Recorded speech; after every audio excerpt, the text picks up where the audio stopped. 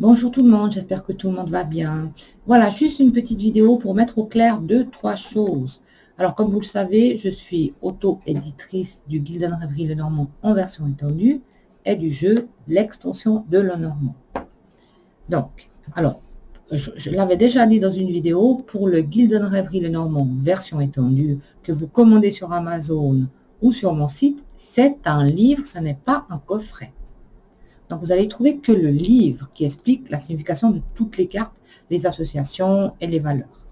Voilà, ça c'est une chose que je dois mettre vraiment au clair parce que voilà. Donc, c'est pas un coffret, c'est un livre. En ce qui concerne le jeu, alors il est écrit derrière 50 cartes, mais les cartes sont numérotées jusqu'à 49. Pour quelle raison?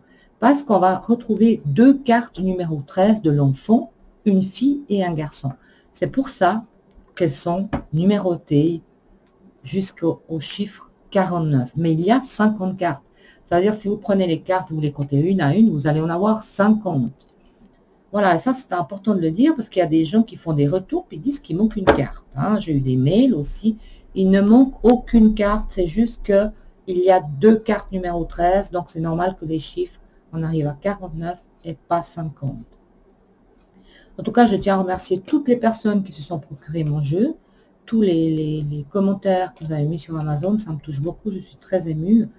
Et puis voilà, je vous remercie vraiment euh, de votre confiance, votre fidélité. C'était quelque chose que j'avais besoin de dire euh, afin d'éviter euh, certains problèmes. Donc il y a 50 cartes, mais elles sont numérotées jusqu'à 49 parce qu'il y a deux cartes de l'enfant.